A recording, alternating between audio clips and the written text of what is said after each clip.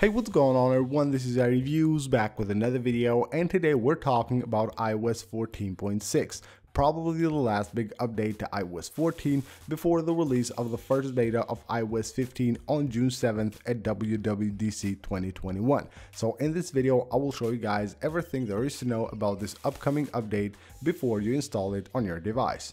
First of all, we're talking about the size of the update. This is quite a big update. It should come to your device at around 4 gigs. I got it right here on the iPhone 12 Pro Max at around 4.2 gigs, which is quite huge, of course, Based on the device, there will be different sizes and of course based on which iOS version you have currently installed on your device. Even though this doesn't have that many features, it's still quite a big update.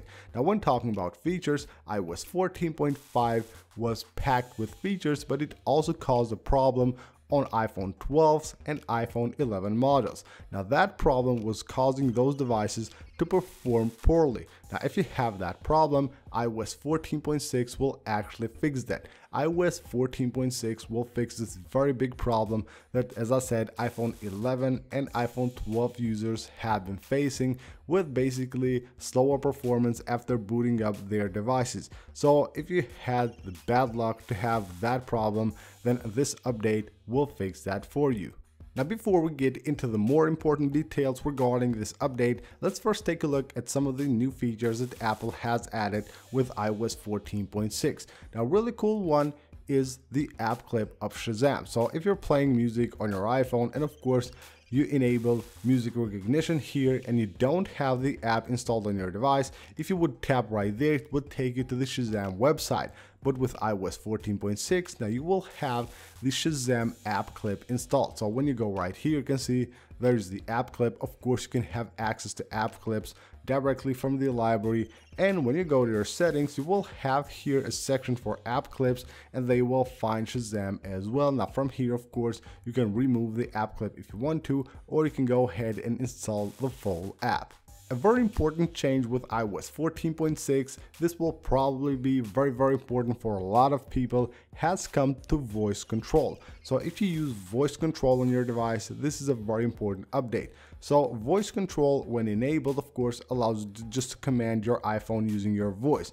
If you reboot your device or, or if the device is actually shut off and you just boot it up, then you won't be able to actually use voice control without unlocking your device. Now with iOS 14.6, Apple has added this feature that will actually allow you to use voice control to actually unlock your device after you have booted it up. So if I just turn off the device right here, you can see once it boots up again, I will be able to actually unlock it with the passcode using voice control, which is of course very very useful and probably life changing for a lot of people that use voice control. So let's just boot up the device and as you can see right here the device is booted up and now I will be able to actually unlock it using the passcode. As you know once you boot up the device you won't be able to actually unlock it with Face ID. You will first have to enter your passcode and now of course I can command using voice control. So tap 1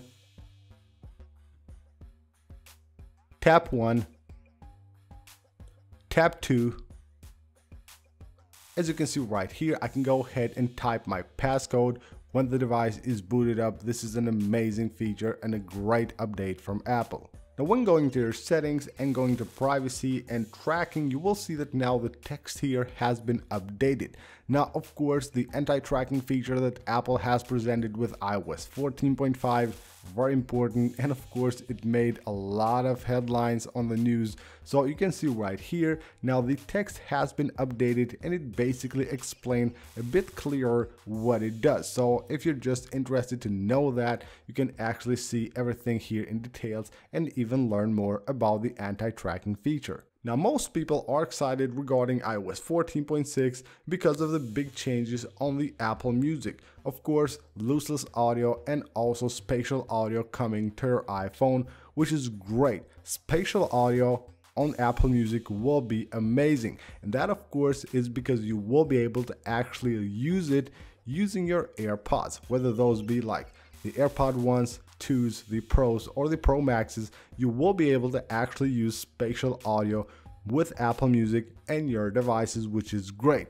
Now, when talking about lossless audio, you won't actually be able to use that either with your AirPods or your AirPods Pro, your AirPods Pro Max or the HomePod.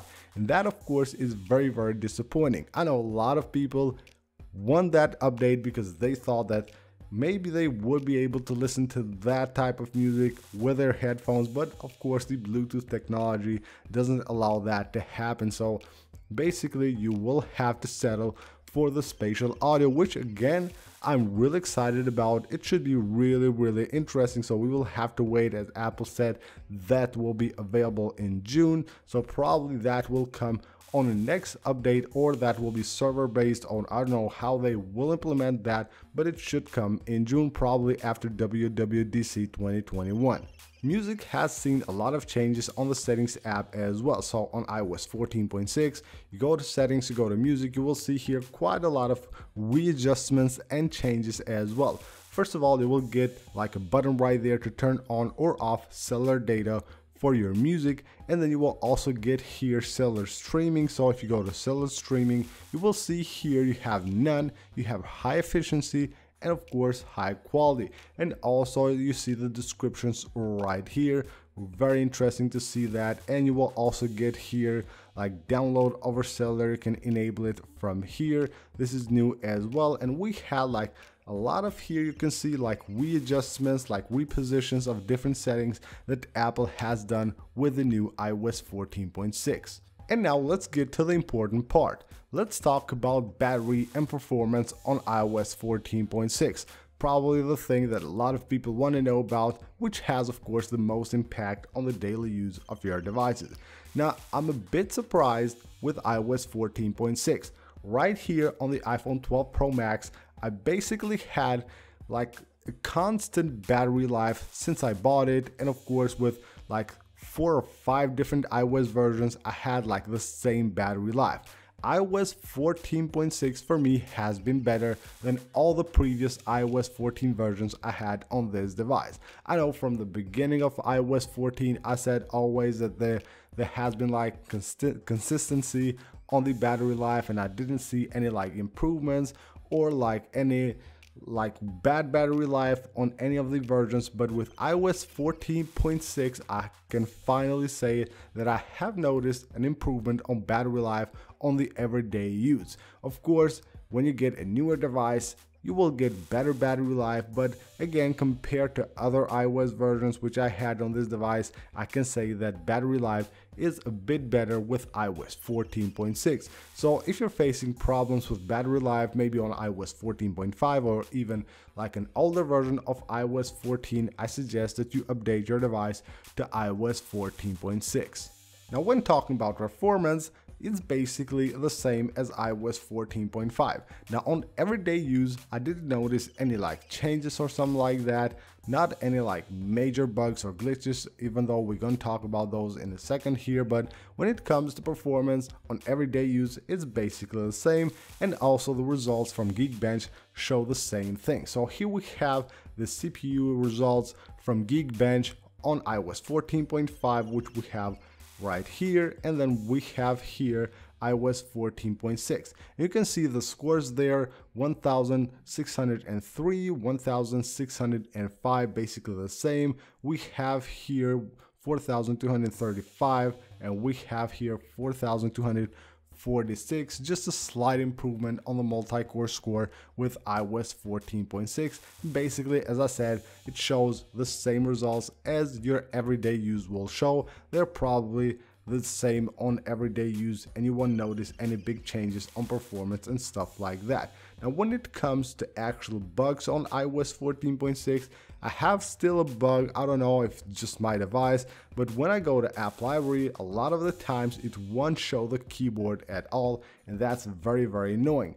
Another like bug that I have seen reported by quite a lot of people on Reddit is a notification bug, mostly with like messaging apps, mostly with iMessage, I have seen that being reported multiple times and with WhatsApp as well, basically not receiving notifications from those apps on iOS 14.6. And last but not least, let's talk about the release date, should you update, and of course, the future of iOS 14. Now, first of all, the release date of iOS 14.6, I believe it will be next week. Sometime next week, probably on Tuesday, you will see this update coming to your device.